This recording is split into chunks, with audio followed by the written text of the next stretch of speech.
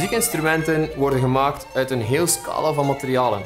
En het ongelooflijke aan het verhaal is dat die instrumenten, als ze bespeeld worden, opnieuw letterlijk tot leven komen, verhalen vertellen en emotie kunnen overbrengen.